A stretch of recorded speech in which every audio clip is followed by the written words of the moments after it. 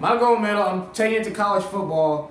Uh, I'm thinking, like, who who's gonna stop this inevitable rematch between Clemson and Bama? I just I don't see it. I don't see anybody stopping them. I, I just feel like they're 40, 50 points better than everybody in college football right now. And I I really feel like this college football play. This is a hot take, but I really think this whole college football playoff format of these four teams has really skewed recruiting in a way. Whereas a team teams like Alabama and Clemson who've proven themselves in this first first couple years of it, kind of had the pick of the litter at every recruit because you've seen the SEC is not as strong as it used to be. The SEC used to be a conference from top to bottom could beat the crap out of anybody else. Whereas the same with the ACC from top to bottom usually had a lot better teams. Florida State really isn't as good as people really thought they were. Uh, teams like LSU, Georgia, Florida, Tennessee, not as good as they've been in recent years. And I think it's because this top four format these four and five star recruits are eyeing like, wow, Clemson and Bama and Ohio State are making it every single year. I need to hop on here. And so Alabama, I mean, they Alabama, something people aren't talking about, they have four injuries to their first team defense that all happened in the first two weeks. Two outside linebackers out, a defensive end out, a DB out. And they haven't they're still they're still beating people by 40, 50 points. Clemson, new starting quarterback, Hobson, I think his, what's his, his last name? His name's Kelly something. Dude is ridiculous. Six foot four, 225 pounds. He's rushing for 100 yards every game, easily.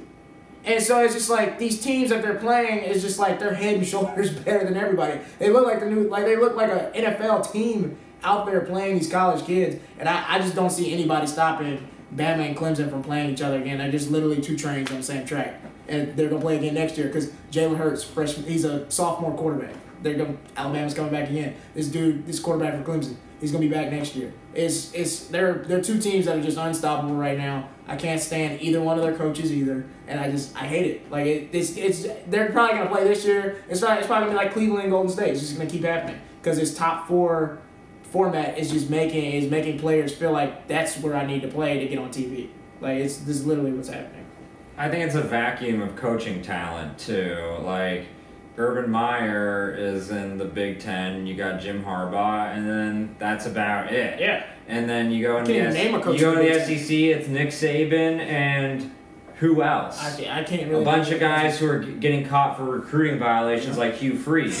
Hugh Freeze, shout out to him. And so I feel like all these other coaches, they have to cheat to compete with what Nick Saban and other people have. And let's be honest, they're cheating too, but they have more money Yeah. to hide the cheating so that going forward it's easier. That's what I'm saying. I, I think it's just the rich get richer in Yeah. college football, and, it's kind of and annoying. This, this one through four things. I mean, they beat the Ole Miss Rebels sixty-six to three. This is a team That that, beat sweet. them two years in a row.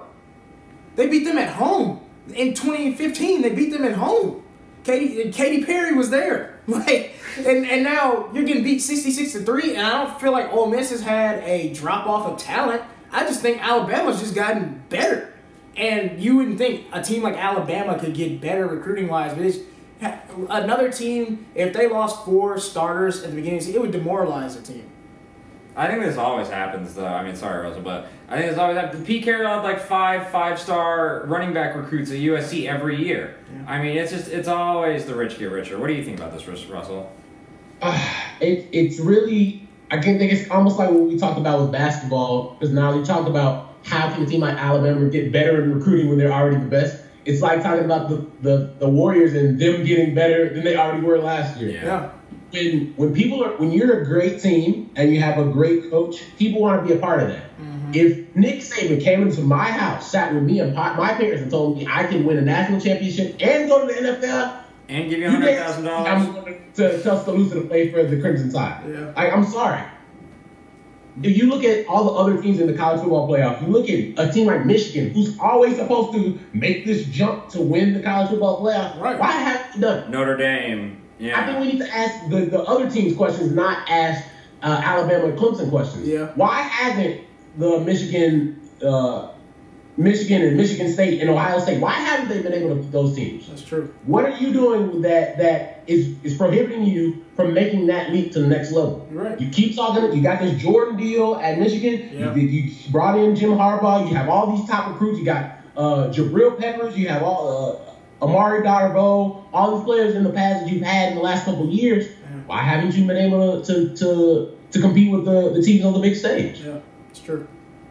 It's true. And I feel like Dabo Swinney for Clemson cement is, is cemented himself in that Nick Saban, like that Nick Saban level. Not, not as good as Nick Saban, but his recruiting has been up there over the last couple years. We've seen it with players like Deshaun Watson and DeAndre Hopkins, and just I mean he he's got guys that are producing in the NFL right now, and it shows with the way they play on the field. So.